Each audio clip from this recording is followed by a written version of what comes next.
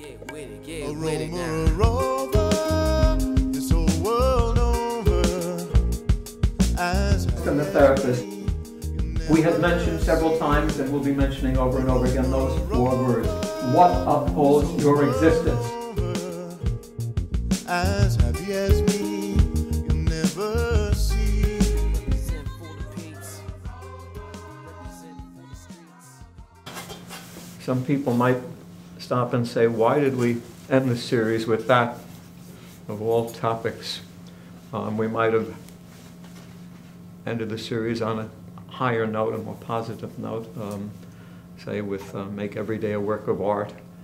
Um, but I chose We Are Our Own Worst Enemies because it's kind of like a final way of confronting ourselves, of seeing the truth about life and why we are the way we are and what we can do to change it. Um, some of you have probably heard this story from me before, but I'd like to begin by going over it again. I became involved in changing my life about 49 years ago. At that time, I was on as much a decline as any human being could be. In fact, uh, I had lost my career, my marriage had broken up, and uh, overall, on an emotional level, I felt like putting my head in an oven. And the only thing that really saved me at that point was I started doing research on a movie dealing with drug use and addictions and criminality. And my research took me to a place called Daytop Village, a facility in Staten Island, New York, for 105 hardcore narcotics addicts. And I went there ostensibly to research, do research for my movie. And as soon as I got there, I became involved in my own life. And that was the beginning of the change for me. And over the months at Daytop going to therapy groups, I didn't advance very much because I didn't really fully understand that I was indeed my own worst enemy.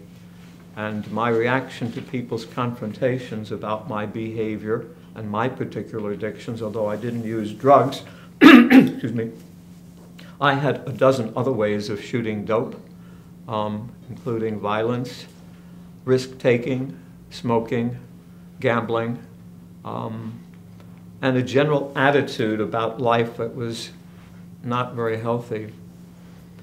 And I was extremely defensive at Daytop. Uh, whenever I was confronted, I would just push everyone back and defend and defend and defend. And I went through nine months that way, and then I went through a marathon session. A marathon group session is very unique in that after 15 to 20 hours of being awake and dealing with human problems, you become physically tired, exhausted, and your defenses drop. You start opening up on an emotional level in a way that uh, is different than normal. And after about 48 hours of the marathon, I felt like I was bleeding from dozens of emotional wounds, and, and indeed I was. And I left the marathon and I went into the living room and lit a cigarette. And someone who had been in the marathon with me, a young man named Jose Bly, sat down beside me and he just looked at me and uh, he said, uh, Nickolas, you don't understand, do you? And I said, uh, No, Jose, I really don't. And he paused and he took a cigarette from my pocket and lit it. And I don't know how many minutes went by, but he just looked at me in the calmest, softest, most soothing way and said, Nickolas, there's something wrong with you. And you know, when your knuckles snap, I felt a bone in my brain actually snap. And it was the first time in my life that I finally recognized not only what they were talking about, but what I'd never learned. that there was indeed something wrong with me. And a few moments later, I had a flash of many different things in my mind that I had always blamed for whatever was going on in my life that was wrong. Um, my family environment, dysfunctional for the most part, um, an abusive brother, um, growing up in uh, a neighborhood that was quite dangerous, relatives who I did not like. In fact, I think I hated most of them. And uh, the church, the Greek Orthodox Church, which um, I wanted to blow up, actually, emotionally and physically.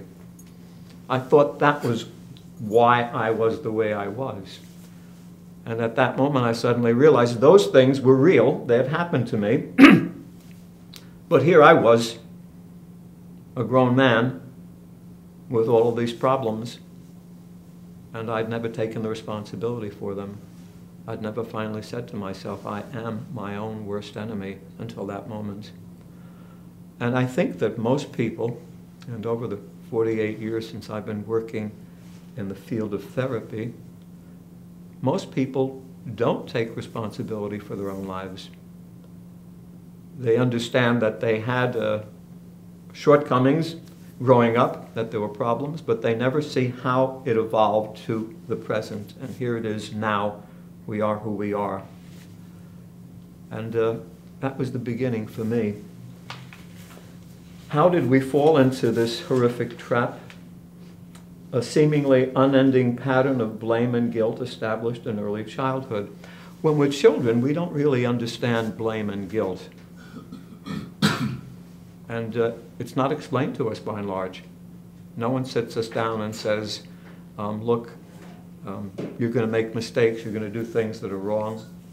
Um, and it's okay, you have to learn from them. And uh, because we're telling you that um, you're doing something wrong and we want you to change it, doesn't mean you have to feel guilty about anything as if you're bad. Well, no one said anything like that to me, and I rarely, if ever, heard from anyone when they discussed their childhood that someone actually was able to talk to them in that way. We internalize blame and guilt, and it's very insidious, and it never leaves us. That guilt remains there, and it affects us throughout our lifetime. Pointing the finger itself is reinforced by teachers in our early school years. We go into the schoolroom, and uh, it's another new world to us. And uh, by and large, it's not a very positive world because we're thrust into a situation where we're competing with other people and we're being tested as to what our skills are or are not. We get grades, um, and if we're among the elite, um, we get an A, and uh, instead of the finger being pointed at us as being ignorant, dumb, lazy, or whatever, we walk away somewhat unscathed. But even those people have had to compete and have had to feel the pressure and the stress and strain of getting those A's and working hard without really understanding what the whole purpose is. Entering adolescence and into adulthood, self punishment becomes a habit. We don't even realize we're doing it, but we punish ourselves so often in so many different ways. We start taking on habits of other people. We start behaving according to not a deep feeling of what we need to do, but according to what everyone else is doing our friends, our peers, our family, and our society.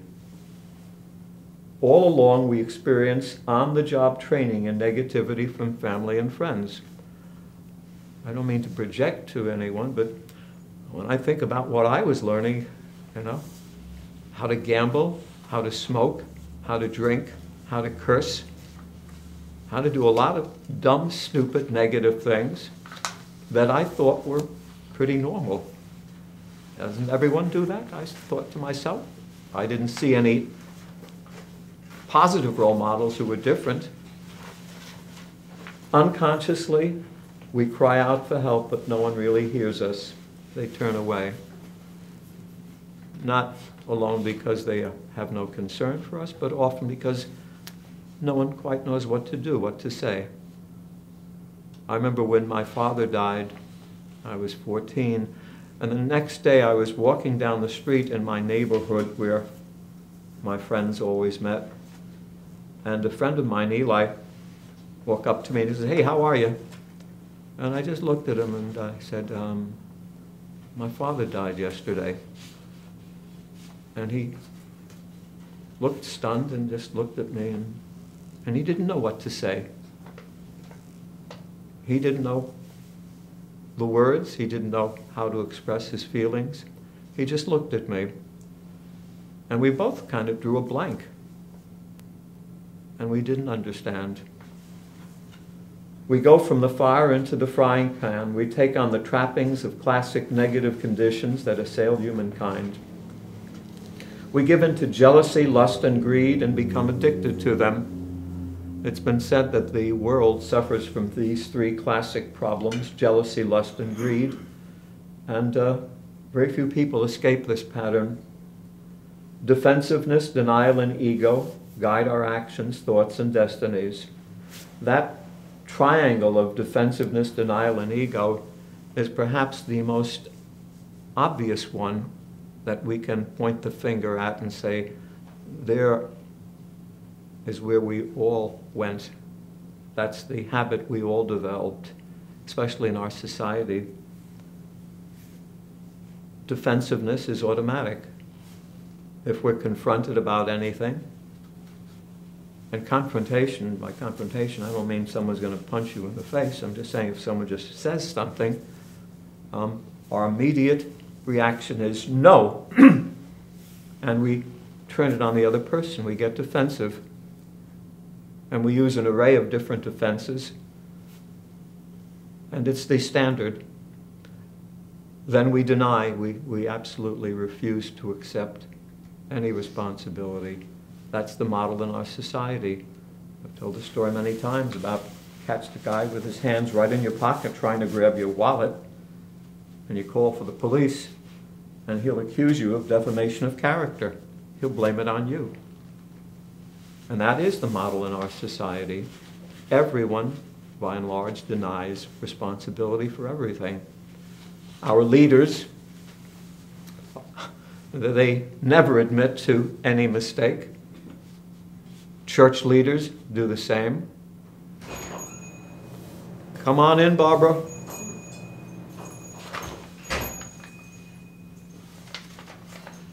There could be evidence of thousands and thousands of children being molested and raped by religious people, and no one will take the responsibility for it. Same is true with doctors, lawyers, politicians, statesmen, supposed statesmen. Nobody is willing to say, I'm wrong. I made a mistake. I did something wrong. We are a society of angels, by and large, according to what actually goes on. And ego, easily the most destructive force in human nature. That which, when opposed, seeks to assert itself is ego. When the ego dissolves, then and there we're capable of all qualities. We partner with emotional overload, mental debris, and physical disability. This is another classic triangle that really represents the overall human condition. If we want to describe what depression is, there's depression, emotional overload, too many feelings that we cannot relate to, cannot process. They build and build and build until we just can't seem to handle it anymore. And it's kind of like a breaking point. And then we run to the doctor for medication. and he diagnoses us as depressed instead of saying, You're not handling your emotions. Apropos of that, if we take a look at what happened last week in Connecticut with those 28 deaths, you see exactly how we handle that kind of responsibility in the most cockeyed way imaginable. Two factions, the polarization immediately, gun control on one end, and mental health on the other. Neither of which is really responsible for the problem. Responsibility lies in the fact that we do not know how to handle feelings. We don't know what emotions are about. And everything that is basically an emotional problem or disorder is labeled as a mental problem. Mental health. You'll notice in all of the things going on about the shooting and the aftermath of that, what is being addressed is mental health as opposed to emotional reality. And the reason for that is quite simple. There's no money to be made with emotions. The only people who can really relate to emotions in a way that is professional and that earns them a living are artists, actors, singers, dancers, musicians, writers, and evangelists. There's no money for the doctors and the psychologists and psychiatrists or the drug manufacturers to make from emotions. So they label everything as a mental problem. And then they're clever enough, and it is cleverness, not truth, to give us the idea to support that of we have these imbalances, neurotransmitter imbalances or other imbalances, something up there that's causing the mental problem. And the public, once again, its own worst enemy, buys into it, accept it immediately because it goes unchallenged. And these people should know. They're the professionals, they're the scientists, the doctors, the research people, the medical authorities, the psychiatrists, who basically govern all of that and they don't know what they're talking about. They're not even using the right words, the right language. They're not addressing the underlying problem, which is emotional, not mental. As you've heard me say a number of times, in all the years I've been dealing with people with depression, I've never yet heard one person say, I think depressed. Everyone says, I feel. I feel depressed. It's emotional. But because we don't understand that, the emotional overload continues to build. And the pharmaceutical people are delighted with that. They can give us more and more medication to deal with what they call a mental problem, which in reality is purely emotional. The mental debris that follows as a result of the emotional overload. Um, we dramatize. We take what are fundamentally problems, human problems that we all experience. There's no way we can go through life not experiencing problems. And we take these problems and we build them into dramas, huge dramas. That's why we end up indulging in saying things like, oh my God, as if we were dying as a result of ordinary problems. Physical disability comes in right behind that. Not only are we a nation that we can basically say is emotionally crippled, we are physically crippled as well. We have the worst health in the industrialized world, by far. Nobody's even a close second to us. I'm not talking about third world countries, I'm talking about the industrialized world. England, Canada, Germany, France. we're not anywhere close to the people who are really healthy. I went to Cuba, as you heard me say a number of times, about five years ago. And I walked through the streets of Old Havana, and uh, the walk, um, three and a half, four hours, and during that period of time, I crossed paths with a quarter of a million people, including people in their 80s and 90s smoking long stogies. And they were all healthier than we are. Everyone looked like they were in condition to fight. People playing ball, dancing. All physically looking good. We can't say the same about our society at all. Just recently on the news, there was an announcement that the countries that had the happiest people, they were all Latin America, South America. Yeah, we- we're not a, we're not a happy people. How could we be? With so many people depressed, so many people medicated, and so many people suffering from poor health. Twice as much heart attack, twice as much cancer, twice as much stroke, three times as much high blood pressure, four times as much diabetes, six times as much obesity, and perhaps 8,000 times as much depression. So we're not a very happy society or a fit society or a healthy society. We become specialists, experts at our own weaknesses and melees. That word melees is something that I strongly relate to because I think that our society suffers from this malaise, this lack of energy, lack of strength, lack of something.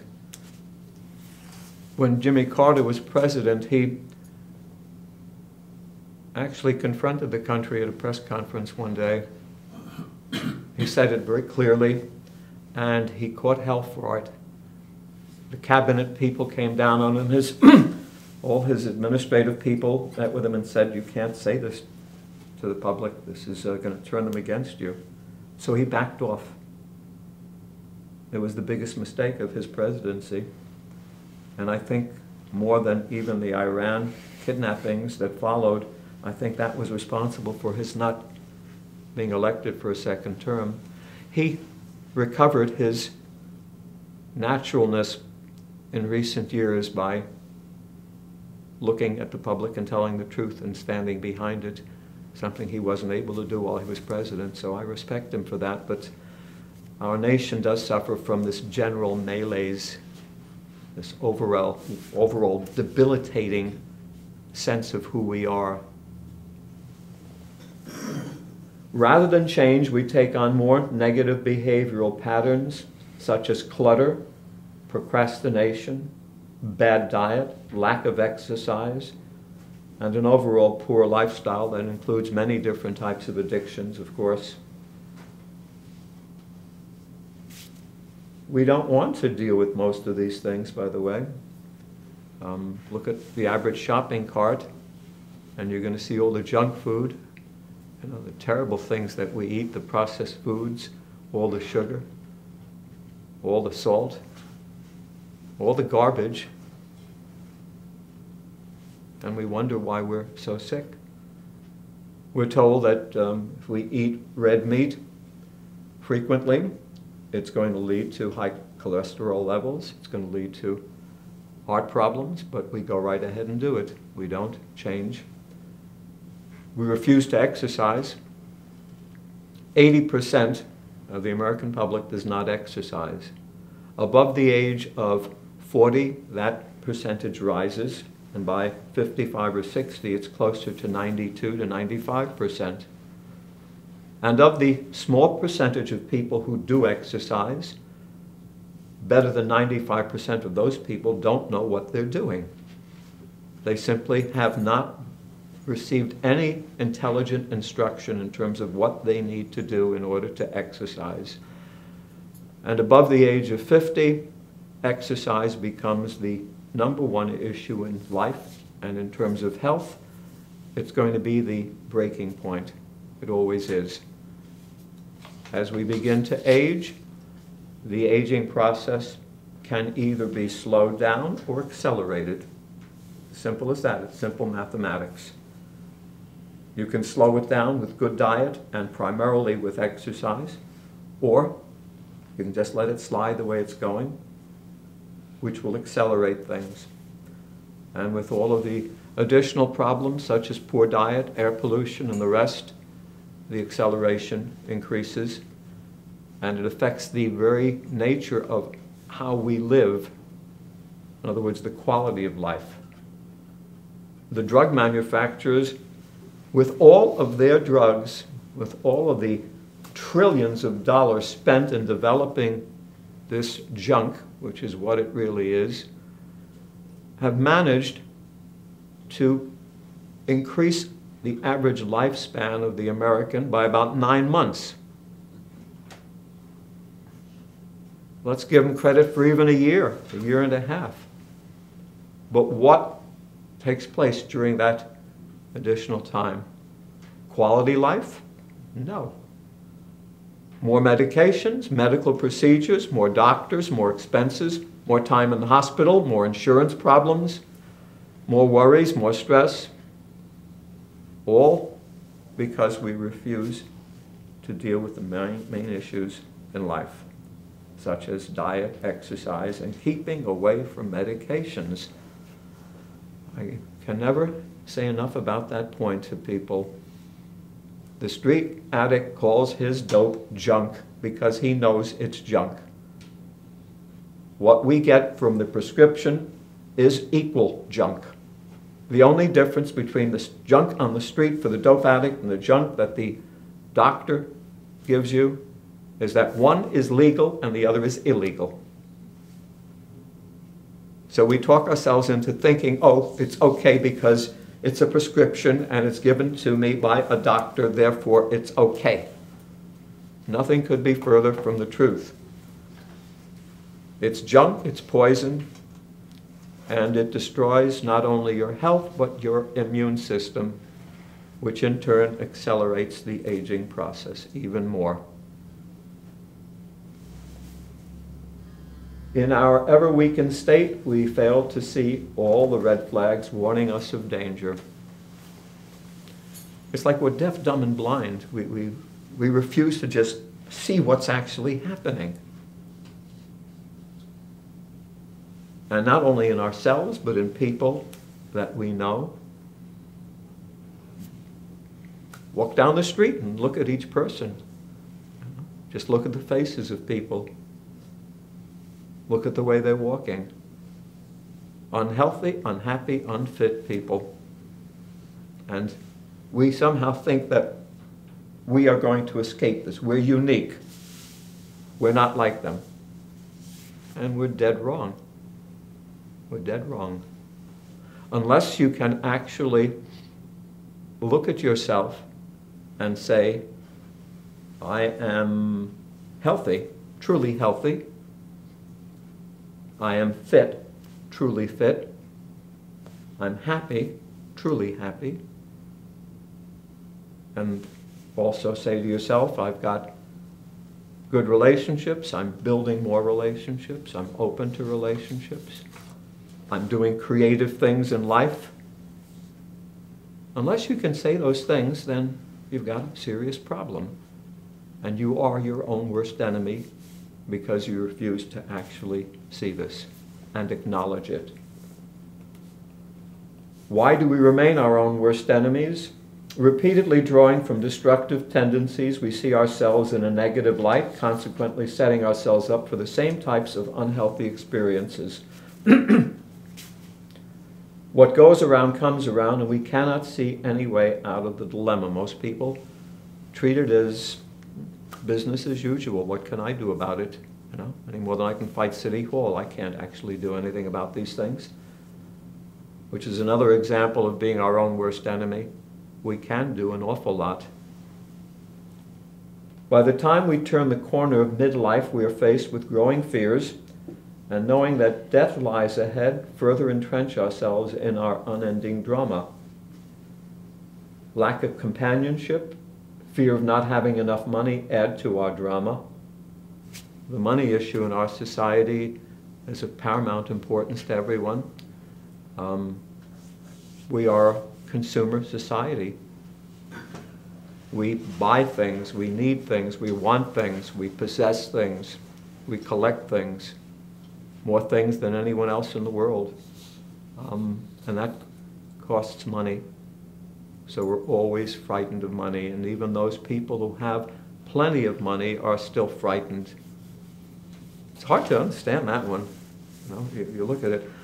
Um, I had to administer my brother's estate after he died, and, and uh, so many strange things about it. He had plenty of money, but he wouldn't pay a $16 bill.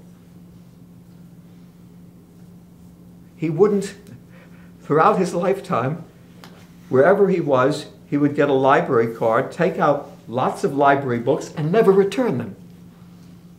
He refused to return library books. Would get into litigation with people over $10 and go on for months. Why? Is that strange? No, it's this is the way the society operates. We're so frightened that even if we have everything we need, we act as if we don't. The act as if is the most powerful learning tool there is, but it can be used for positive or for negative. And so many people act as if they have no money, that they're broke. And you look at them and you, I, I tell the story in Greece. I had um, a number of people who were involved with me and a venture of mine in the newspaper business, and people advertised in my newspapers. And in the second year of publication, I went around to these people, uh, and I remember going into this huge, huge building. This guy is basically the camping king of that part of the world. Um, anything related to camping, from equipment to tents to camping trailers, you name it, this guy, that's his business. Huge, huge organization. And I walked into his office, which is as big as this, and as soon as he saw me, he assumed I was coming to ask him to advertise again. In actuality, I was coming to give him some free advertising. But he looked at me and he threw up his hands and says, I'm sorry, but I can't do anything this year. I'm in a desperate position. And he went on to list about 12 financial problems, including the fact that he'd had a child recently and, and he was worried about being able to put food on the table and keep the lights on. And he went through this litany of, you know, this drama about his terrible economic situation. And I looked at him and I said, uh, yeah, and he said, well, what are you going to do? And he looked at me and said, well, I have no choice. I have to call my lawyer and have him sell one of my houses in Athens. Real estate in Athens is as high as you could imagine. Poor man, he's got to sell one of his pieces of real estate in Athens. Pity the poor. But so many of us act that way and walk around as if we're in poverty. And then you see in other places in the world people who have just enough to get by and they act as if they're wealthy. Complete opposite of what we do. This personal dynamic, fraught with failure and self anger, mirrors itself in the same self destructive patterns that we see in our community and greater society. Is there no hope? We weren't born our own worst enemies. It's not in our genes or DNA. It's not. We, we were born with you know, a sense of uh, fun and lightness, happiness. A child, you know, sees the world as a wonderful place, sees life as a wonderful thing. wants to dance and sing and have fun and play. Child isn't born its own worst enemy. It doesn't want to live that way. It wasn't our intention to learn how to suppress what we feel and think. We were born free. We're meant to be free, but yet we're not. A lot of us relate to freedom um, in a very abstract way, as if um, we really were free. But we're not. Try to express what you feel, you're going to be stopped. Try to express what you think, you're going to find a lot of obstacles. Not that easy to really be free. And we're taught how not to be free. We're taught from the earliest age shh, be quiet. Don't be frightened. Don't get angry. Don't cry. We're taught to suppress all the natural feelings. That young man in Connecticut who killed all those people is among those millions and millions of people who were taught how not to express feelings. And eventually, by not expressing feelings, the feelings come out some way. They fester inside of us. We feel the pain. We suffer the emotional overload.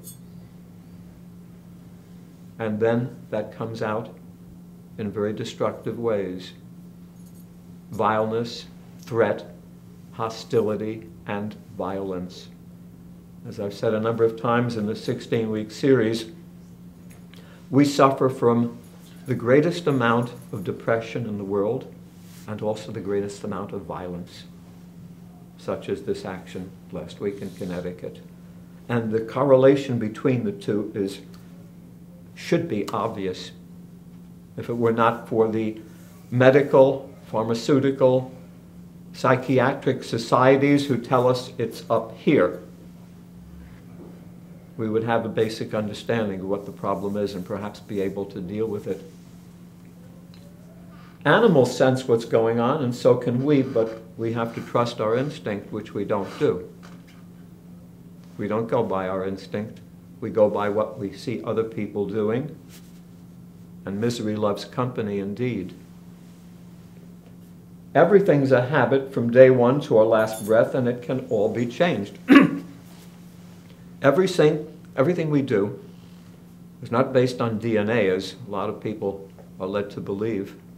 These things are not in our genetic makeup. We learn these things. The way we walk, the way we stand, the way we talk, the way we eat, the way we dress, clothes we wear, music we like, jobs we take. Everything is a matter of habit forming. Every single one of these details. And just as we learn all the bad things, we can change them and we can learn good things. Just as we refuse to exercise, we can learn to exercise. Just as we refuse to eat properly, we can change that. Just as we suppress our feelings, we can change that. We can learn to express what we feel and what we think in a natural, normal way. We can change all of that. Life could be wonderful, a work of art, if we used our minds and our brains, if we were individuals as opposed to simply following what everyone else is doing.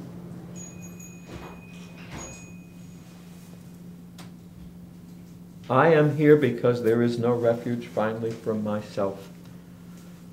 These are the words that I first saw written when I went to Daytop that first day. I'd like everyone to think about those words for a minute.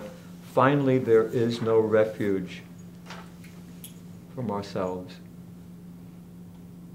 If we could only recognize that there is no refuge, no matter how defensive we are, no matter how many times we repressed all of our feelings and thoughts, we'd realize that um, there is no refuge And what we really need to do is to step outside of the box that we've placed ourselves in and start living a life that uh, we're meant to live with the idea of living, loving, and creating.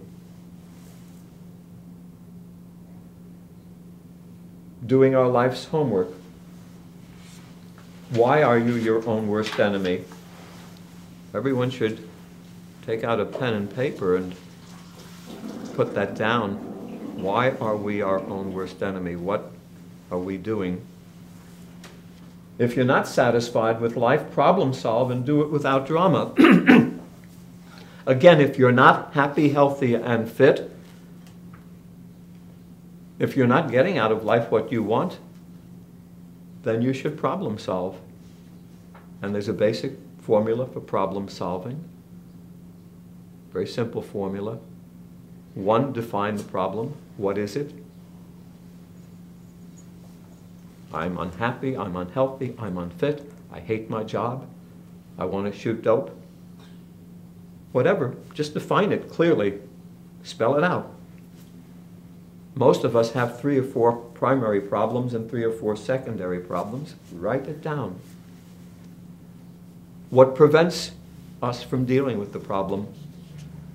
There are two things the emotional and the practical and we must deal with both the emotional and the practical. Sometimes it's almost all emotional fear.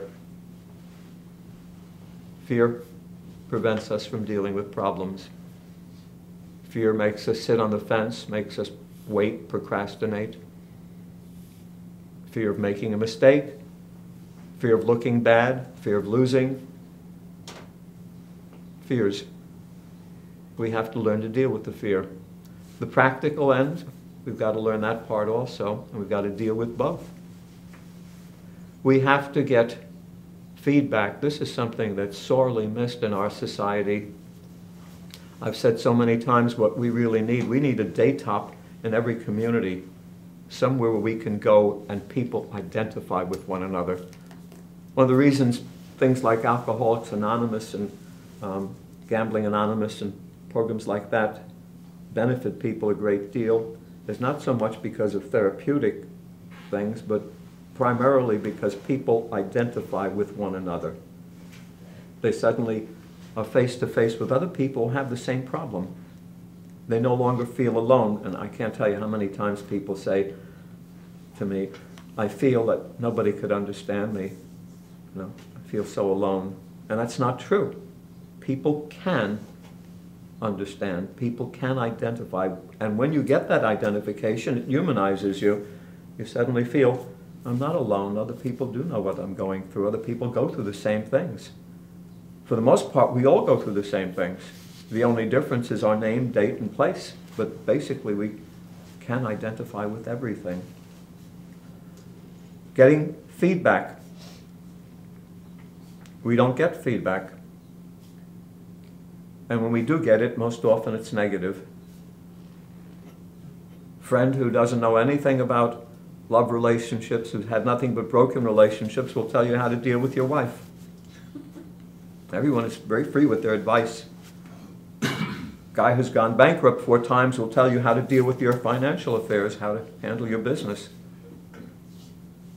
Everybody's got advice to give, all experts. So many unhappy, unhealthy, unfit people giving advice, and we take it in and we absorb a lot of that negative advice. Instead of recognizing that this person doesn't know what the hell they're talking about. Take in feedback only from individuals who have successfully navigated the waters that you are in. Only. Don't take in feedback from people merely because they're your friends. Those friends are the ones who will say, go to the doctor and get, get, get yourself a pill. Know? Everyone will be quick to give you advice. Take in feedback only from sources that are authentic, that you know will help you. Otherwise, don't go near it. Weigh everything. Once you have dealt with the emotional and the practical parts of things, once you've gotten the identification and the feedback, then put it on a scale and weigh it. What am I going to do? And unless there's some unknown factors, decide what to do. Don't wait. Don't procrastinate. What if you do make a mistake? You'll recognize it, you can change it. But don't wait. Once you've made a decision, commit yourself to the decision. Commitment is the key to everything. I tell the story about Daytop, that same Daytop I've talked about, that facility of 105 hardcore narcotics addicts. In the year that I was there, going to groups three, four times a week, marathon sessions and the rest, I think I heard about approximately 3,000 commitments made at Daytop. Wide range of things from uh, people going to finally start taking care of what they're supposed to take care of, everything from getting in touch with their kids and child support to quitting smoking to losing weight to you know really getting down to business whatever they commitments because that was forced on you. The whole process was one of deal with problems. 3000 commitments over a period of about a year and except please unless you've heard this before just uh, want only the people who haven't heard it to guess at this how many of those commitments do you think were kept out of approximately 3,000 commitments. Anyone want to guess? Ten. 10? Twenty percent. 20%? 100%. Not one commitment was broken. Not one. That seems extraordinary. 105 former addicts, felons, yet they all every one of them kept every commitment they made. Reason is that um, it was built into the whole structure of their existence from the time they were in prison. It's prison code, basically. In prison, if you say you're going to do something, you better do it, or else you are going to be hurting badly. Whether it's your fellow inmates, you've made that promise, commitment to, or the jailers, you learn to keep your commitments. So when these people went to Daytop, that was built into the program. We are here because finally there is no refuge from ourselves. We are our own worst enemies, and when we make a decision and make a commitment, you're going to do it. And every commitment was kept. And not surprisingly, once you act as if you will keep your commitments, you do it. We started a program, first community based drug prevention program in America in Greenwich Village shortly after that. I was its director. We had the same basic ideology, and consequently, nobody broke commitments there either. Everybody, when they made a decision, was asked, Is that a commitment? Yes, that's your honor contract with yourself. And everybody kept their commitments. It's not that hard to do. Once we make the decision, then we can do it. Um, how about that program that is right across the street over there? It used to be called est, but it's something else now. Landmark? Landmark, thank you. Are you familiar with Landmark? I know of it, but not familiar with it personally, no. What is the connection with commitment?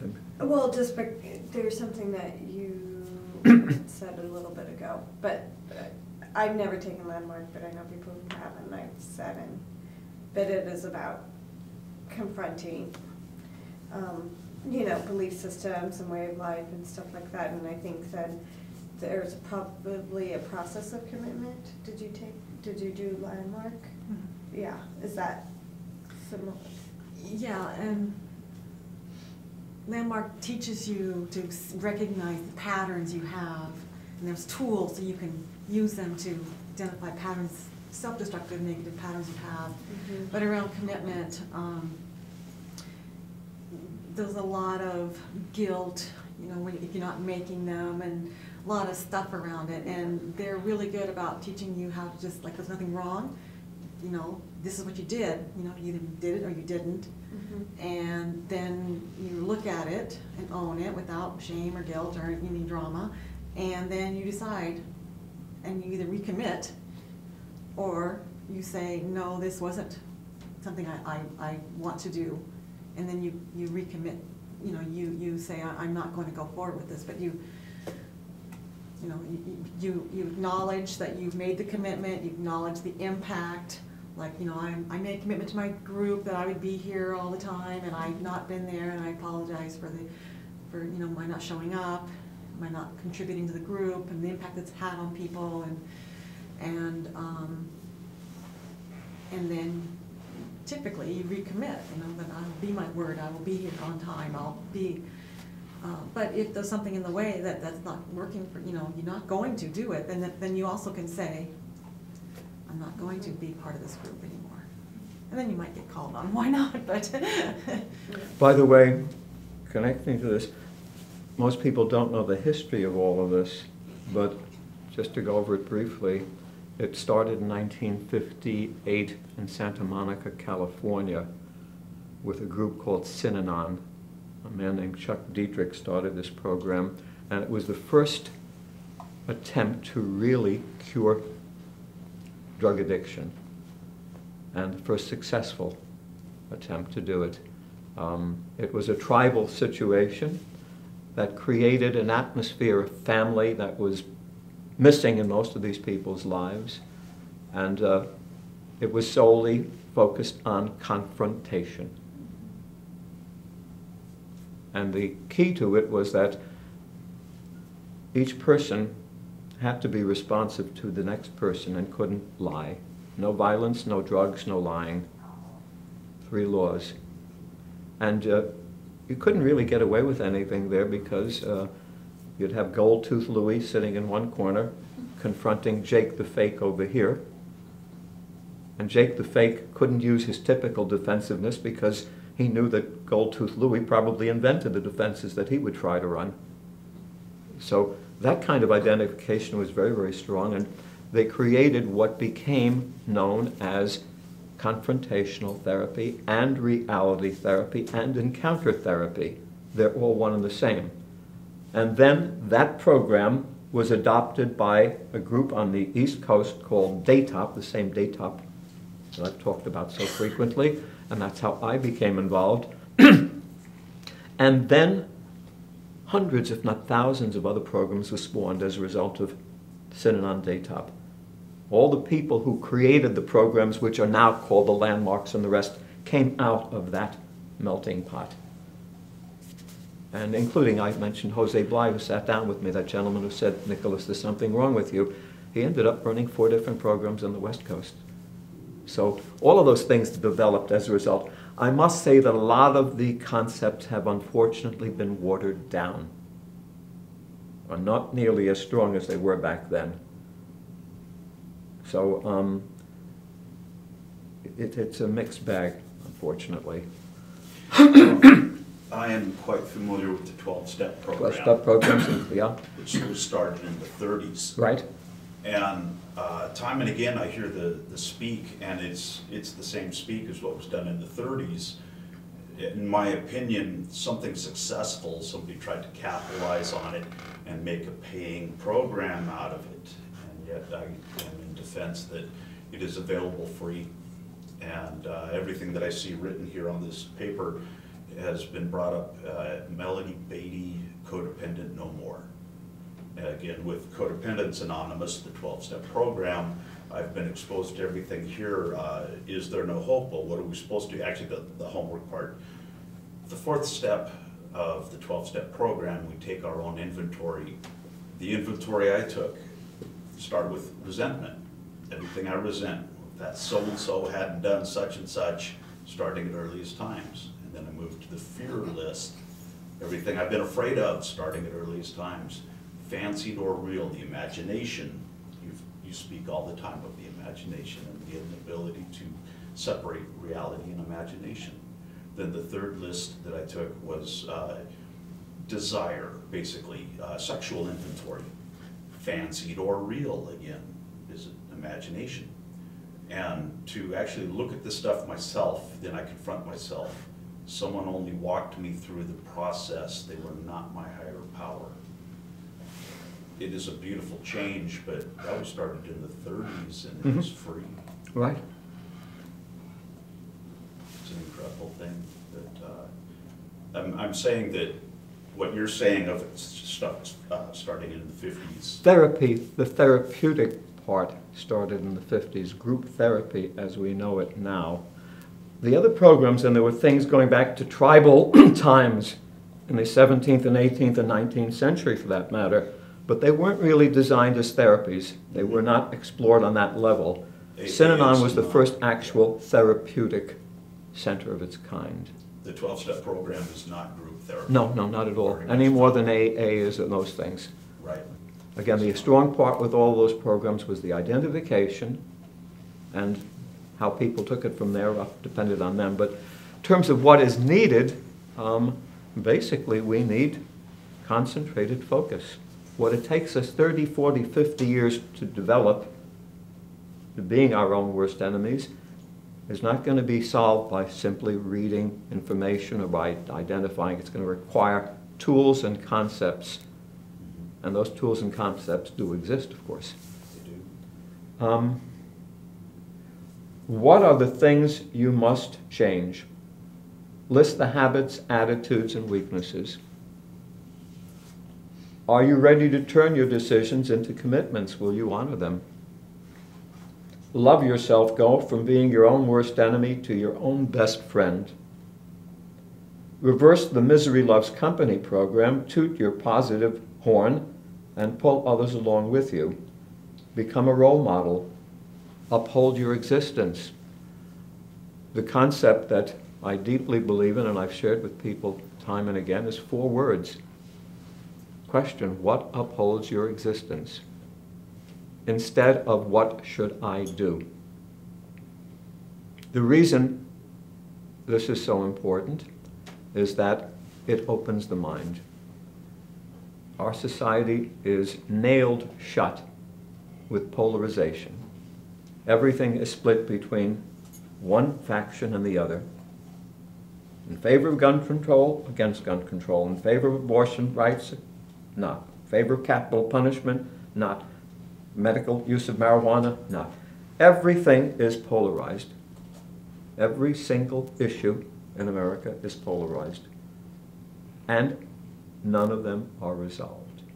You've heard me say at least eight times to suggest to people Google 1968 presidential issues, and you'll come up with about 25 to 100 issues, topics that were, you know, being discussed at that point. If you look at the list of things, you will discover one, not one of those issues, 40, 50 years later, has been resolved. Not one of them. And some of those primary issues are no longer even listed in the top 50. Among those that have not been resolved, that remain polarized, again, gun control. And what happens repeatedly the same the shooting, press will build up on it, and then if enough noise is made, the issue is raised again. But it's polarized. And you cannot resolve issues that way. Impossible. It never happens. And we remain caught up in that polarity. And we do the same in our personal lives. We never resolve our own issues. We keep on the fence, one place or the other. We say good or bad, right, wrong, yes, no, black, white. And the mind cannot really take it any further. What should I do? Well, um, I don't know. I'm confused. Or what are my choices? Well, I can do this or that. but if we ask ourselves, what upholds existence? Then the mind says, hmm, that's a different question. Now I can take that in many different directions. And what happens is the mind begins to be used. remember being told in a science class, teacher, Mr. Fine was his name, and he said we use approximately 6% of our brain power. 6%. Think about that for a minute. 6%. If you were auditioning a performer and he gave you his resume and his photograph and he said, you know what, um, I'm going to use 8% of my ability. You say, what? Get out of here. If you were interviewing someone for a job placement and they told you, I'm bringing 15% of my ability, you'd look at them as if they were, you know, pretty dumb. But yet we accept the fact that we only use 6% of this brain power. I got a hunch it's closer to 3%, by the way.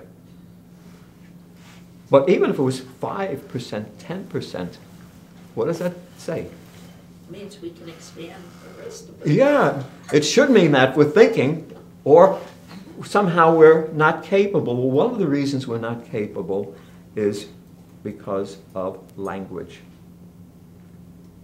What we tell ourselves, how we fuel the mind. That determines almost everything. I've mentioned a number of times previously working with people with dementia. Um, by the way, should you become involved with this and family members or anyone, trust me on this, the so-called experts don't know what the hell they're talking about. It's guesswork to them. They have not advanced this as a science at all. Why? Because they have been focused again and again on nothing but medicating, medicating, and medicating. They're medicating millions of people for dementia without knowing anything about it. It's, it's a crapshoot to them. It's purely guesswork. They don't know what they're doing. The only thing that has succeeded with age related problems such as dementia is, not surprisingly, opening up the mind. Having people do things they never did before.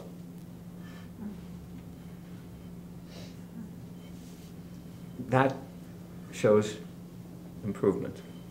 Not recovery, because some, no, it would take a center. You'd need detox for that particular thing, for opening up the mind. And then we'd see some real recovery and some cure. Because what is dementia? Now they're telling us that all the brain cells are dying and not being replaced, which is not a proven fact either. And what about all the brain cells that are still alive? Why can't they be activated? Why can't they start doing other things? They can. I'm 76. My memory has not lessened. My memory is stronger than ever. My mind is stronger than ever. My abilities as a writer creatively are better than ever. Because I look at what upholds my existence and I use my mind, and my mind keeps going in many directions, splitting this way, that way, creating new channels, new avenues, new approaches. And nobody is different. Everybody's capable of doing that. Especially if we're not using medications. The medications stop us cold. We become addicted, dependent on the medication, which again compromises the immune system, slows us down in so many ways, makes us ill, the side effects. And then as we get older, we attribute the illness, according to the medical profession, as age. And you buy into it. You're not a spring chicken anymore. Of course, you're going to be getting sick more often. I'm sorry, it doesn't have to be. I'm tooting my own horn again. 76, I don't get sick. Haven't had a headache in 53 years, stomach ache in 35 years, cold in 25 years. I don't get sick. Don't use even aspirin. How come? Am I from Mars? Am I free? No. I do two things. I do not use any medications. I use my mind, and then I exercise. I eat well. It works. The mind can just take off. An adventure every minute. What upholds existence is the question to ask at every turn. Not what should I do? What should I do gets us only to the polarization this or that, good or bad. Can you explain what that means, uphold your existence? Yes. Uphold, to lift up. Existence, everything. Your whole being, your personality, your character, your beliefs, your values, your So emotions. sort of mean defend it. Uphold. You see, defend is defend, protect. Mm-hmm. But uphold, the language itself, lift it up. Bring it to another level Can you give us the entirely. example that you've given before? Or another one?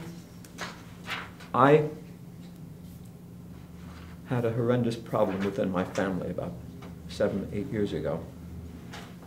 And uh, we were all suffering as a result of it. And it came down to legal matters, uh, some moral issues, property rights, things. And uh, we were being torn apart by it uh, on every level. And I was caught up in the games of right or wrong, the polarization again. Should I do this? Should I do that? What the lawyer says here, what the lawyer says there. Who gets this? Who gets that? And it got so bad that my dear friend uh, Mie, who's my editor, um, noticed one day that my hands were trembling. And I, I just sat down. I said, What the hell am I doing? I'm not following what I believe here. And I went into hypnosis and focused on what upholds my existence as opposed to the issues related to this property, right, wrong, etc. And within five or six minutes, I came out of it and got on the phone and said, write up a contract exactly what you want. Don't worry about anything. It's okay. It was over, done. What upholds existence was my love for those people, not the issues.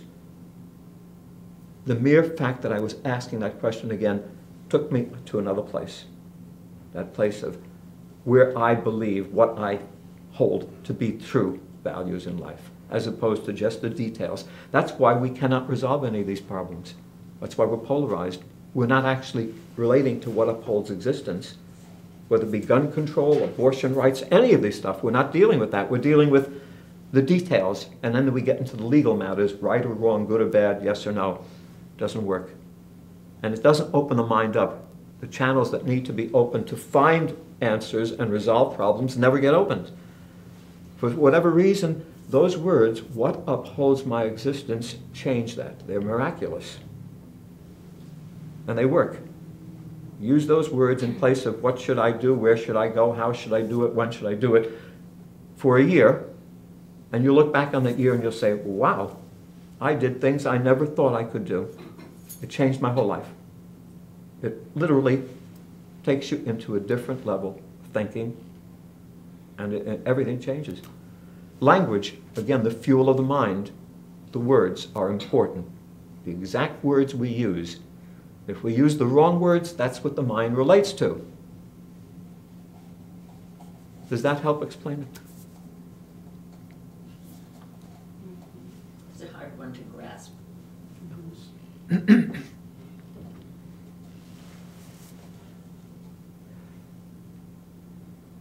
Life is for living, loving, and creating, not despair, depression, drugs, and death. Living, loving, and creating. Pretty basic. There's nothing mysterious about that. We should be living, loving, and creating, as opposed to being focused on the despair, depression, drugs, and death. We can't be doing them simultaneously. Does not work. Does not work we always fail at that level and become not only our worst enemies, but entrenched in being our worst enemies, as opposed to being our best friends. let's open it up just for questions and thoughts. I'd like to hear from everyone, just in a general sense, about the whole topic of we are our own worst enemy. Anyone, please? Don't.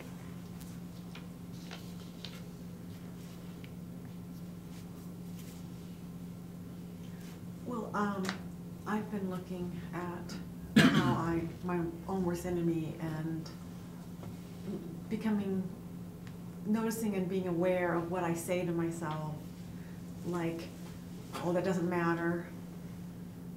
Uh, instead of paying attention to something and going, well, yes, it does matter to me. And what do I need to do here or say here?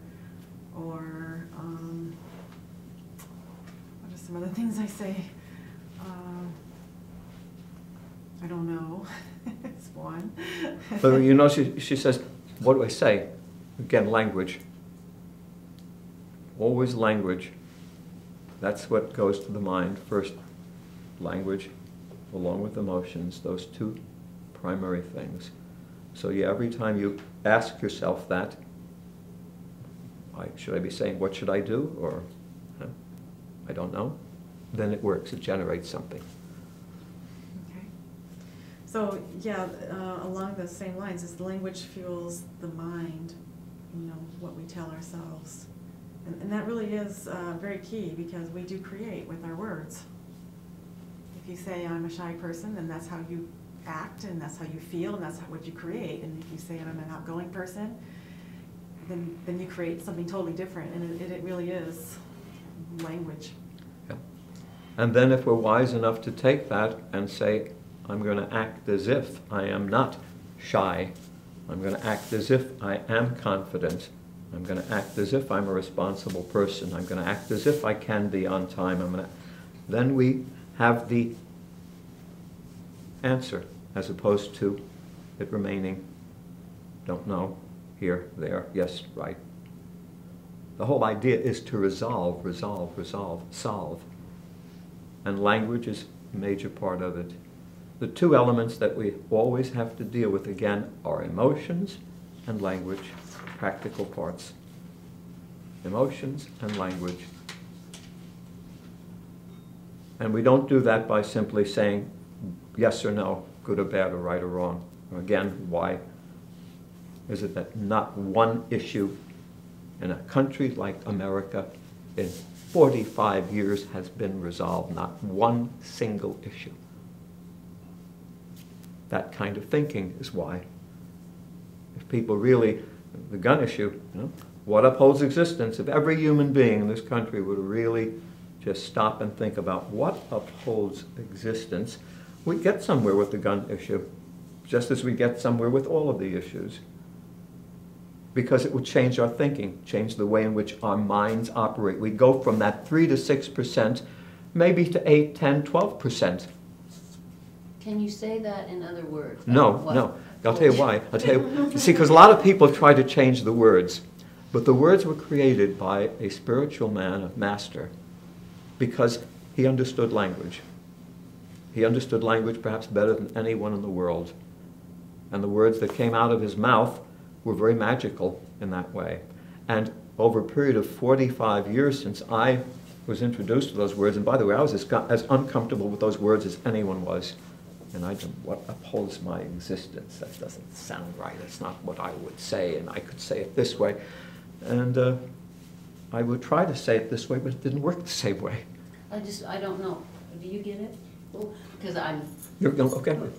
like, like what defines me, or where do I, What upholds you? Think of the uphold. What, what upholds people in general? What they feel about themselves, what they believe in themselves, their life values, how they really live and acknowledge life. And you know, most of us really feel we know what those things are. Like we go out, stand in the corner and ask people, do you believe in God? Do you believe in love? Do you believe in kindness? They'll say yes. But do they really live that way? Do they really uphold those things? Most people don't. But if you say, uphold those things, uphold the ideal of kindness. Same man who said, what upholds your existence says, love before you speak of love. Another very, hmm, language. you can see it, you can hold on to it. What upholds my existence? My existence is everything, not just the issue here, but existence, the being of existence in itself, which is so great. It has to boost the mind. We need a rocket boost. And those words will do it if you apply them, if you just get to the, past the initial difficulty with the language. Barbara, you were going to say something about that? I was just gonna say, my feeling about assault rifles is if you need an assault rifle to shoot a deer, you shouldn't be a hunter. It doesn't hold existence for anyone on that level, no. What upholds existence if you're going to go hunting is if you need food, you know? Right, That, that- that upholds existence. right. But if you're doing it for sport, that doesn't uphold existence. And as you said, if you're doing it with an assault rifle, that, that would, you know, I, I pass that channel every time, uh, and I, I, I say, I want to wipe it out. How can they actually be talking that way about, I've got him in my sights, the super sight thing, you know? Poor animal he's got, you're using a, this, this, It just doesn't make any sense. Does not uphold existence anyway. Well, I was just, before I came in here, I forgot what the topic was, even though I wanted to hear about it. And recently, and it comes and goes, just, I've been feeling so angry. And it's everything. It's, someone can do a little thing, and I just feel like, It's the holidays. how can you be do you know like you honked at me is that a kind way to even like when are we going to show kindness and all this stuff but then i'm becoming more and more bitter and less and less willing to show kindness Yeah.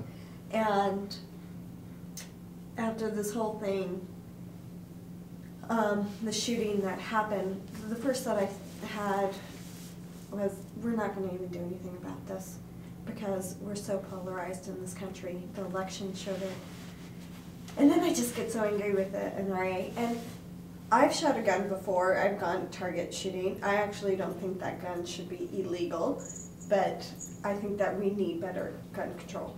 Extreme gun control. Um, so you know, and um, I can go on about that. Australia has great gun control, and they've seen the decline of violence drop like fifty percent. I mean, it's so anyway. I can go on with it, okay, because I want them to be my target now.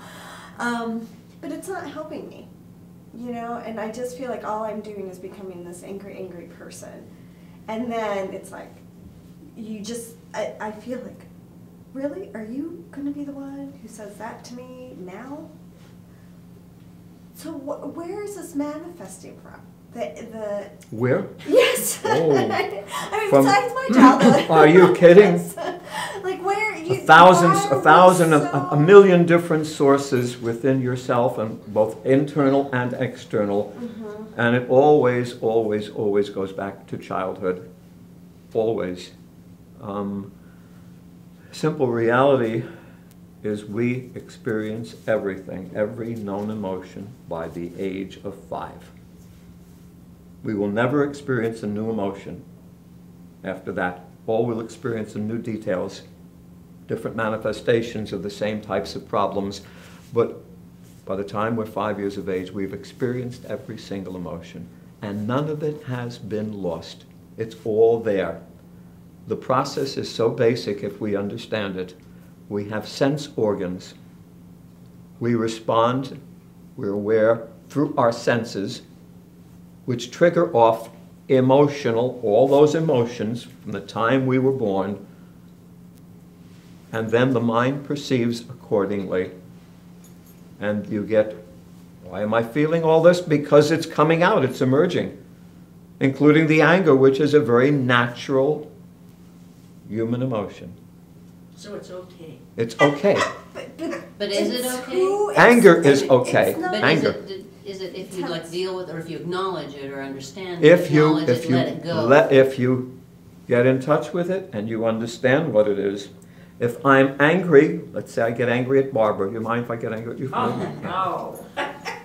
Let's say Barbara does something to me, whatever, and I feel anger, whether it's deserved or not is not the question. She could be right, wrong, or crazy, but I feel anger. And I turn to Barbara and say, I feel angry at you. It's emotion, what I feel. I'm not saying, Barbara, I'm going to kick your teeth in, which is a threat, or Barbara, you're a four eyed, lousy bitch, which is vile, or which is violence. That's what causes the violence, because we will not express the anger in a normal, healthy way. Anger is a normal, natural emotion. So what you're feeling is natural. Just you say you're frustrated about what to do because it involves so many different things. Yeah. And many and people are in the same boat. We're angry at a lot of things and we're frustrated because we can't do anything about it. How many people saw the movie Network? Remember that wonderful scene where, where where he asks everyone to go to their windows, open the windows, Oh, and. and start shouting, I'm Not gonna take this anymore. I, uh, no. The reason that movie, was- one of the reasons it was so successful, everyone identified with it. We all want to be able to finally express that. And if we did, we'd be a lot healthier.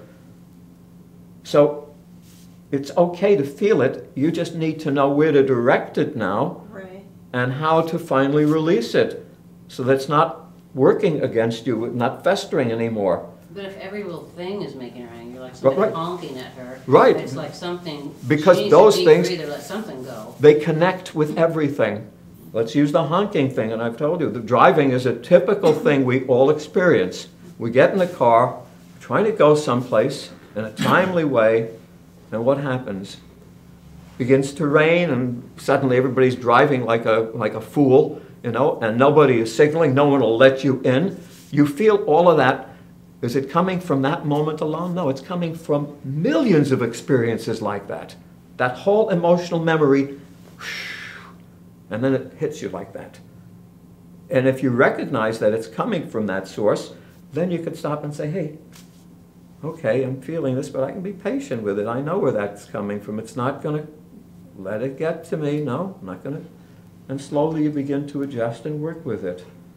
And then the, you have the internal and the externals. Yeah, what do you do about this killing? All people feeling so many different things about tragedies. We're identifying with people. Um, by the way, that shows another value lapse, very strong value lapse in our society. We feel so much about these 28 people, yet there are people, I'm sure, who died right here in Fremont in Seattle, perhaps from cancer, perhaps from heart attack, from, perhaps from shooting dope, perhaps hit by a car, whatever. Do we feel for them equally? No, we don't. Why? Because we don't have the value structure where every life is important. Instead, we get caught up with things that we can all identify with, such as this killing, and we latch onto that. 9 11 is another example. 3,000 people died. So, a lot of emotion attached to that. But yet, 44,000 people die every year in a car accident. What about them?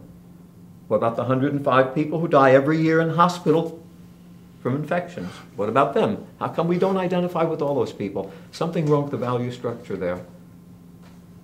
Doesn't make the news. Right? If it makes the news, then it becomes prominent, and then we look around, oh, are you giving $10 to the Red Cross? I'll do the same thing. Back uh, in Brooklyn, when I was about oh, 12 years old, there was some, something happened. A little girl, I think two and a half year old child, was walking in the backyard somewhere and wandered off into a, uh, an, a, a lot, a vacant lot, and fell into a pit and someone heard her screaming. To make a very long story short, this became big news because everyone's attention was drawn to it. And within 24 hours, there were TV and news cameras there, police, firemen, hundreds and hundreds of people, and front page news. The whole country was focusing on whether or not they were going to go because the child had fallen about 30 feet down and was now silent. They didn't know if the child was dead or not. Everyone was focused on this child. Finally, about two days later, they were able to bring her up alive. And everyone felt, know, it was celebration time. What about all the other people? What about all the other children who, you know, were suffering, who were being beaten that day, molested that day, hungry that day? Something wrong with our value structure. I mean, what truly upholds existence? Being kind, being loving to every creature, every person. Not just where it's convenient because everyone is kind of looking at you and it, you know, our image is good now. I don't see that as a good image um, until we really focus on every human being. I, there's a problem. But going back to what you said, no, it, it's what you're feeling is real, and now you got to learn to get it out and express it and direct it in various ways, and uh, release it and go from there. Well, Yeah, I had to do that the other day, driving in that rain. Someone actually put, made a right-hand turn in front of me. Made a right-hand turn, and I just missed him by inches. Lay on that horn, you better believe it. And not only did I lay on my horn, I pulled off to the side of the road, waiting for him to come, so I could say something, pay attention. And then, after a couple of cups of chamomile tea, I was able to calm down. But I almost lost my life that day. I mean, he really could have totally. Is, is that a good reason to be angry? Yes. Yes, absolutely. You're darn right. That's why we have anger as an emotion. If we didn't have it, then what would we do with all that emotion? What- Well, I suppose as long as you can let it go, but. Exactly. Just let that, oh, no, no, no. that's so unhealthy, that No, of course. energy. That, that, that keeps festering inside of you again and will ultimately come out as vileness, threat, hostility, and violence. So if she's angry about everything, But it's okay. It's okay because all that's happening is the anger emerges. And for a lot of people, that's a big, big, huge, important step. Um, because we've been trained to not get angry in our society. And I think one thing, you know, this is external and this is all internal, but a good example is, again, going back to the shootings, Facebook, which I'm almost about to get off just because of this, and people going, well, let's talk about something light. Let's talk, you know, here's something, here's a good thing to look at. And to me, I'm thinking, can't we just be uncomfortable right now? Because maybe being angry, being in grief, being will actually get us to do something different. But it's this cover up constantly about in, in the social and that social networking stuff. It, it's a big deal. Yep. I mean, it, it really is. I mean, they've done studies on Facebook that about Facebook that people's self esteem gets lowered once they get on Facebook. I mean, there's tons of studies on, you know, the whole thing. But I'm seeing how it's like, don't be upset for too long about this. Let's look at this. And it's like, what? It's another form of childhood, and that's plugging us into the childhood of shh, don't be afraid, don't be angry, don't cry, all the don'ts. And that's what we do in, as, as a society, basically. We don't get angry at anything. We didn't get angry at George Bush. We weren't allowed to. We weren't free enough to be able to tell the truth to George Bush.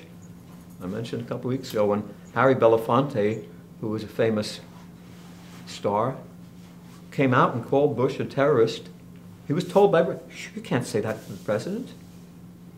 I've been told repeatedly, don't, don't, don't, don't say things about Obama. Don't call him a compulsive liar. Well, he is a compulsive liar, so I say it. Am I the only person who feels that way? No. We're afraid. We're so afraid. I use the national anthem thing again. Go to a baseball game. Before the game, everybody's got to stand. Da da da da da da. Those 40,000 people that game, does every one of those people really believe in that national anthem? Are there maybe 30 people who don't want to sing it, who'd rather sit down and say, no, I don't like the song, I don't like the words, the bombs bursting in air? No. You know what happened? You're going to be arrested. Literally arrested if you sit down and don't sing the national anthem. People jeer at you, they'll throw things at you, and then the police will come along and say, you're causing a disturbance, and will they'll take you right off. We can't express anything. And yet again, we think we're free. To me, that's not freedom. And when we repress those things, whether it be the anger, the fear, or the pain, we're in trouble. And that's again why we're so depressed. We are our own worst enemies. Other people to talk on that topic? Uh, I've uh, heard from the the Buddhist philosophy that we attach to outcome too much. You know, that uh, we plan a big meal around the Christmas time, but everything must be right, and, you know, lumpy potatoes and all this stuff, and we're attaching to outcome instead of just enjoying the company of others. Attaching to outcome, many ways of looking at that, uh, including we expect as a result of doing things. Expectation plays a big part, of course, in outcome. And whenever we expect, we are in trouble. Um, that leads to a great amount of disappointment. And what we should do, what really upholds existence, is to do what you believe in without expectation, without any. I, I use the old James Cagney thing. Stand on your marks, look the guy in the eye, and tell the truth without expectation. He might spit in your face for telling you the truth. He might say, I'll never talk to you again for the rest of my life. He might call you a lunatic. It's okay. It's like you blow your horn, you waited for that guy. Express what you feel. Unfortunately, he turned at the next street. I didn't get him. Unfortunately, he may have had a gun. Po- Possibly, yeah. Unfortunately. That's what's scary. Mm. We're all heroes in cars and cowards at the same time. Safest place in the world to act out is behind the wheel of a car. Um, you can make faces, you can do strange things, you can act like you're a tough guy and then drive off. Um, which is another way of, you know, being our own worst enemy. But sort of back to what she said, I'm feeling bad for her because I, I've had friends who, you know, are, just get angry about everything. And it's like, wow, chill out. You're just Do they get angry or do they just express or do they dump?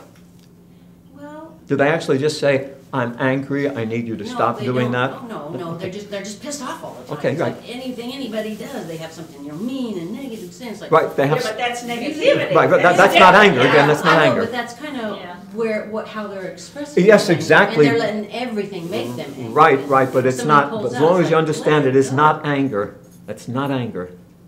It's vileness, hostility, dumping, all that stuff.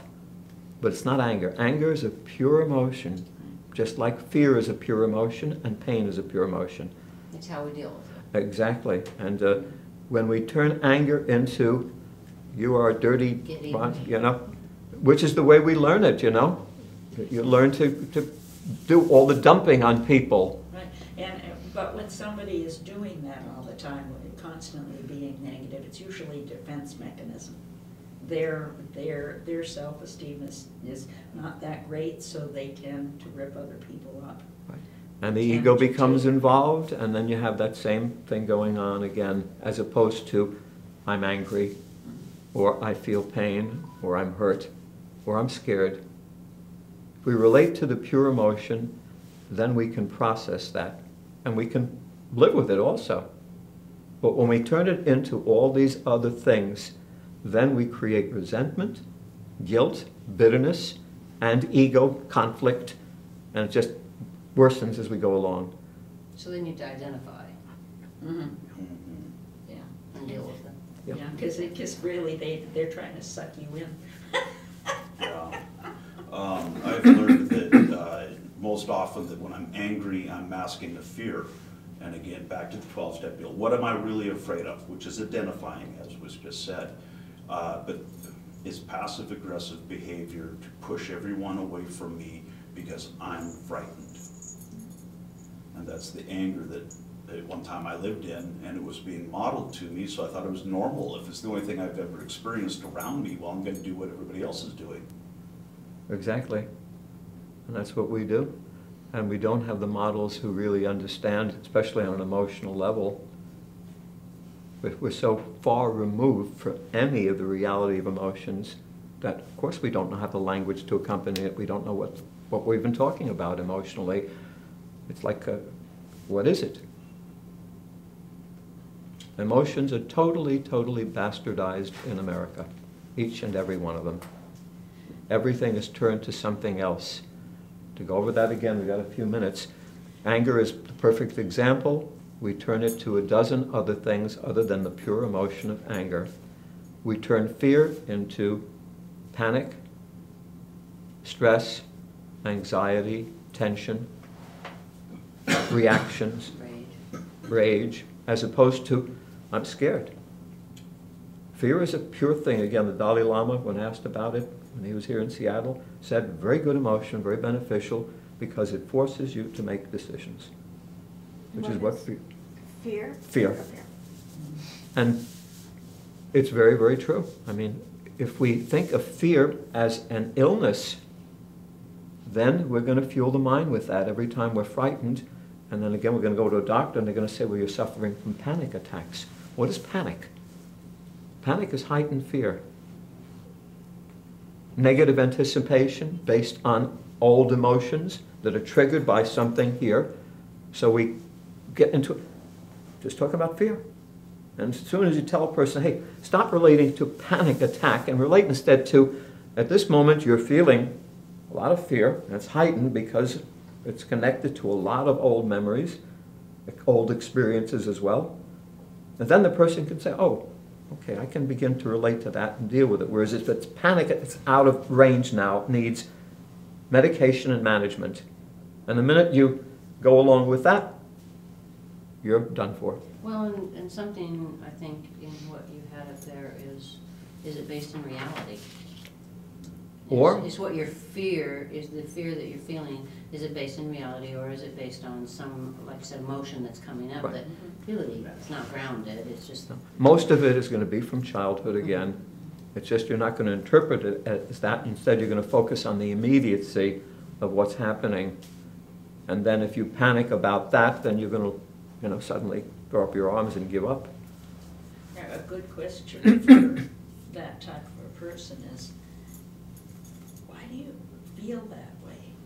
What, what I is most of causing them you I don't to think feel can that? figure that out or they don't know, they just are caught Well, up in the that's just it, it puts on the brakes, Yeah, and they really usually can't come up with a, Th- Then, well, f- for one thing, again, we don't have a source of feedback because at Daytop, you were asked constantly, how are you feeling about that?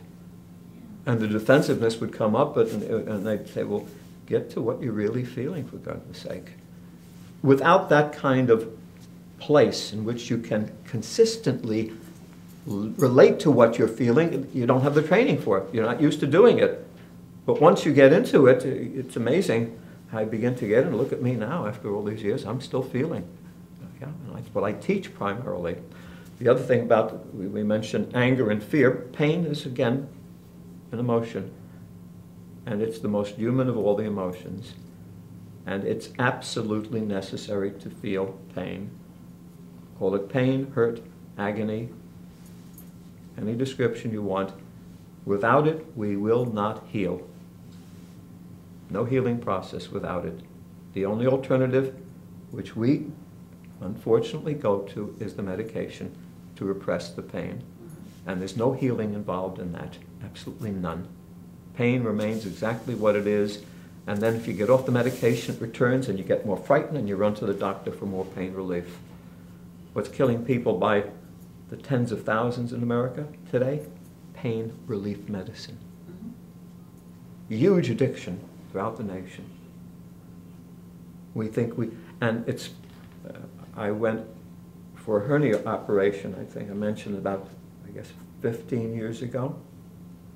And when I came out of the, uh, and I'm dressing, they came over to me with their prescription. Here, you're going to need this. I said, no, I don't need it. Make a long story short, they had three people there arguing with me. You must take this. They finally told me that uh, it's, their liability insurance is at risk. You've got to take it. I said, I'll take the piece of paper just in order to satisfy your liability thing. I'm going to tear it up and throw it away because I'm not going to take your pain relief. And they looked at me as if I was nuts. I think I had colonoscopy uh, back in March. I told them no anesthetic. I said, you can't do that. I said, I certainly can. They said, but you're going to be in pain. You're going to be hurting. I said, no, I won't. I'm a hypnotherapist. I'll be very relaxed. Look, they couldn't, they didn't know what to do. Um, they had to go along with it because they actually did not have a law stating that I must have anesthetic. Um, and throughout the whole procedure, they kept, especially this pumping air, and they said, are you okay? I'm fine. And the nurse, you really in hypnosis? Yeah, sure. I did my hard cap that way. Yeah. yeah. But we're trained to think we need the pain relief, so of course we go for it. And that language, of course, manipulates the mind into believing that you actually need those things when you don't. Anything else before we, before we, we got another 10 minutes on, we are our own worst enemies. Everyone. Um, another one that I've learned that's huge in our society is that an expectation is a resentment in the making. But the resentment is when I drink poison hoping it kills the other guy. Like with the driving thing, that I'm gonna get him. The other guy doesn't give a damn. He's already off on his own course. And I'm the one who's stewing on it and I'm hurting myself at that moment. And again, that's back to how the Buddhists say, attaching to outcome. Question to ask yourself when you're in that situation, does it uphold your existence? Yes, No. very much. And I ask myself frequently, I mean, I use that question at every turn, and I always come up with the proper answer, the answer that really is going to uphold my existence. Um, I, I think because of that four-word statement, my thing, my life has changed so dramatically, especially in the last 15 years. I look back on it that there's so many things that would not be the same now had not been for those four words just redirects everything, including the idea of kindness. Because most of us are not really generating that kindness that we basically believe in. Again, if we were to interview people out in the street, do you believe in kindness? Are you kind? Most people are going to say yes. Very few people are going to say no, I don't want to be kind. But how many are actually kind? How many actually uphold existence by being kind? And, and that's the key to it. Someone, anyone else, please, about the topic of we are our own worst enemies.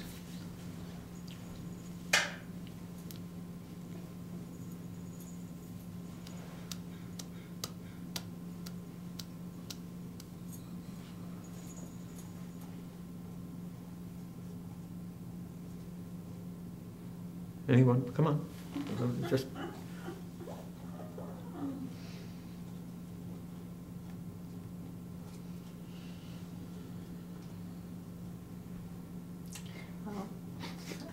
Well, Try not to keep talking. Yes. But I was thinking about when I was going through hypno uh, and, and breath work. Um, the breath work was definitely part of the emotional release in the course I was taking and, um, you know, you feel the anger, feel the anger. And because we were taught to hold the space for uh, feelings without the typical ideas of it, we were allowed people to get through what they needed to get through, go into, you know, it might start with anger and then the pain would come and the sadness and then, and then finally some relief, really, through all of that. And it just makes me think when you say, oh, I feel so sorry for you, that, um, for me, I don't, I don't feel sorry for myself for feeling anger, because I know I don't like it. It's uncomfortable.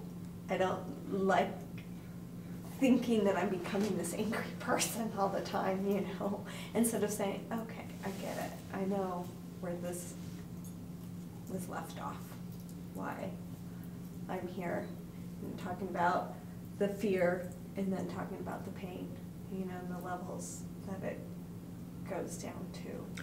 And it will go down, because what happens is, because it's been repressed for so long, once it starts coming out, it's going to come out in bursts. Mhm. It will explode in your face practically. And then, as you're dealing with life on many levels, more obstacles will occur and more anger will be generating. And that's what it seems Yeah, like. and- like, yeah, oh exactly- God, that's really? yeah, that's Like, exactly what am I a happens. magnet? Yeah, no, Am I a magnet all of that- right-hand turns It's, the it's all emerging, that's all it is. And what happens is, once you become accustomed to expressing feelings, including anger, as the feelings emerge and you begin to release them, it begins to balance and adjust. It does balance and adjust. And then it becomes pretty basic, and you know exactly when to express it and when not to, and it becomes the norm. I get angry regularly. I get angry at corporate people, I get angry at thieves, I get angry at, you know, all sorts of things. I haven't been arrested in a long, long time. I haven't been violent in a long, long time. And I'm not uncomfortable with anger because it's part of my lifestyle. It's a natural part. Someone deceives me, um, at some clown on uh, the internet selling ink cartridges. So I order the ink cartridges, takes my credit card number, deducts the money, and then they send me an email 10 minutes later saying they don't have those cartridges in stock. I call them up and say, okay, return the money. It's going to take 8 to 12 business days. I get angry. And I got angry at them, but I called back and I said, I want to speak to a supervisor. And I said, who's responsible for this? I got angry at him. That person hung up the phone. I called next day back from another phone number because they probably said, don't answer this. And got angry again. Part of my lifestyle. Fine. It's not, I'm not thinking, feeling about that guy anymore. I got it out. But you, so you don't, so here the key is to not be building up that repression again so that you end up with a big storehouse of anger that you're not relating to. Same in a real relationship, because Nan and I express what we feel to one another in a regular way. When it happens, there's no buildup. So there's no hidden resentment and bitterness waiting to come out, which is what the dynamic in most relationships is about. You sit on it, one or two people, then suddenly it begins to leak out, and then suddenly the person reacts, and suddenly you've got a storm. All preventable, as long as you learn to express the feelings in a normal way. The key to not being your own worst enemy, basic key is learn to express feelings. That little voice from being a little girl where I was told that I would never be anything or do anything with my life. I was just a follower. Every so often, that little voice tries to announce itself. And I have to kind of go, you're full of crap. I am something. I did accomplish a lot. So push that thought out of the way and keep moving on, because it wasn't true. A Couple more minutes. Anyone else who'd like to just relate to this basic topic of we are our own worst enemy on any level? Well, when I came here, there was a guy out there in the park here in your alleyway. And he started, first he was, you know, he had his hand out and I was still in my car and I had my windows rolled up and my immediate reaction was fear. And then, um, he just seemed harmless, so I just smiled at him and he started walking on his way. And then something made him angry and he started hitting my car with his cane. And Okay, so then I just parked and he went, and then he just kept going and he was yelling to himself or something. But I don't know if I pushed it away. I was angry, but then it- my immediate thought was, the guy is just crazy and that's his stuff and he didn't hurt my car, so I let that go. You used common sense and discernment, which was the proper way to handle it. The whole idea of expressing feelings is not purely to blow away, no. I always tell everyone, with all feelings that you express, side by side with it is common sense and discernment. And you will know when to express and when not to. Safely, 85% of the time, you'll be able to express your feelings. The other 15% of the time, like what you described here, no.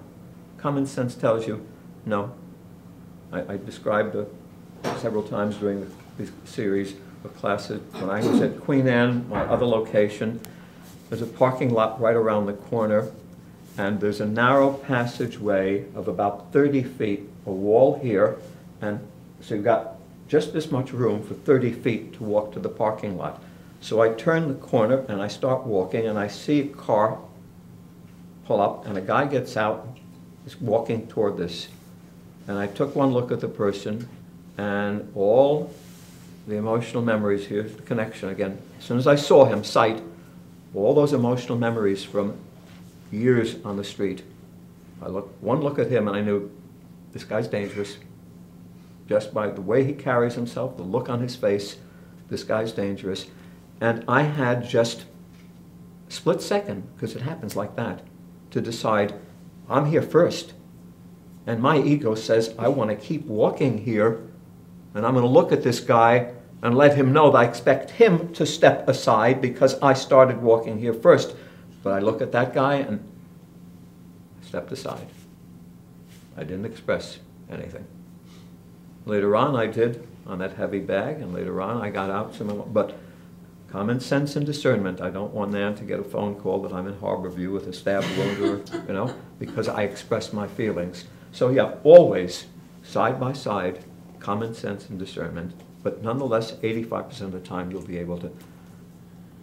I was, I was, my point kind of was like, how long do you stay in that anger before you let it go? I As mean, long as you need to. Common Yeah. and discernment Yeah. too, or? Sometimes it's going to go quickly, you know. Sometimes uh, you need to do two or three things to release it because it's connected to so many other emotional memories. But you'll learn to adjust it as you go along. It, it does reach a point where it happens more naturally.